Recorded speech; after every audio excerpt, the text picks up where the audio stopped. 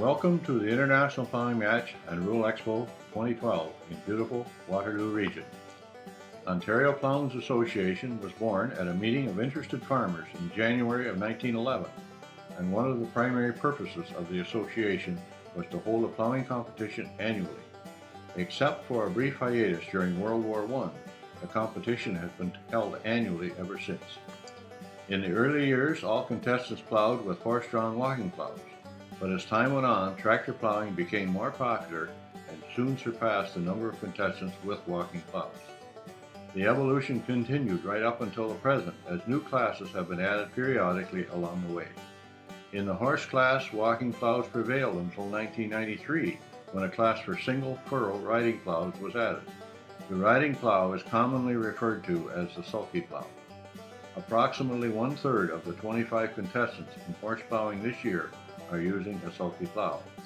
In tractor classes, the pull-type plows gradually became antique and separate classes were provided for those using equipment that was manufactured in 1957 or earlier. Contestants in our championship classes today are using fully mounted plows, but there is one class for semi-mounted as well. In 2004, the latest addition was a class for reversible or rollover plows. The competition takes place over four days, Tuesday through Friday of this week and contestants earning the highest aggregate score for the four days will be declared the champions in their class.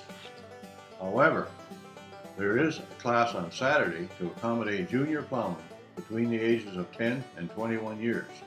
This class has shown steady growth since its inception in 2001, and there are more than 40 young plowmen entered this year.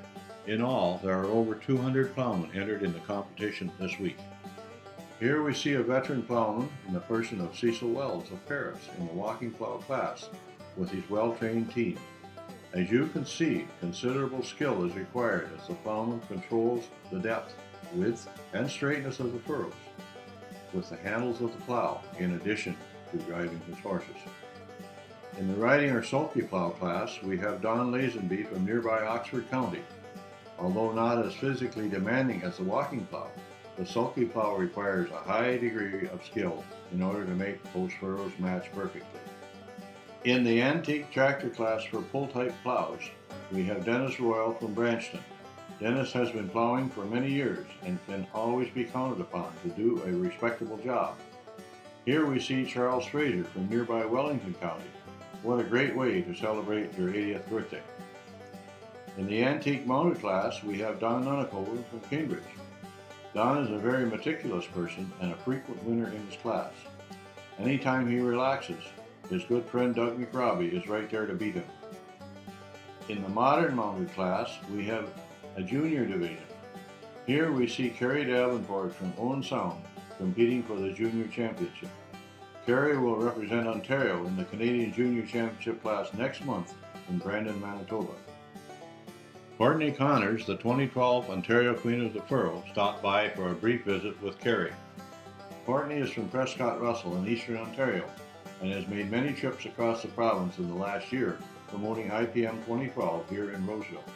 She has been an excellent ambassador for OPA IPM. In the senior conventional class, we see Mark Brodecker. Mark lives down the road a short distance and is a frequent plowing champion. Mark represented Canada in the World Plowing Match just last week in Croatia.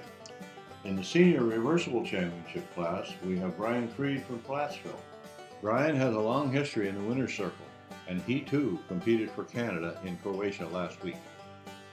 We urge you to check out the mini plot of plowing adjacent to this shelter.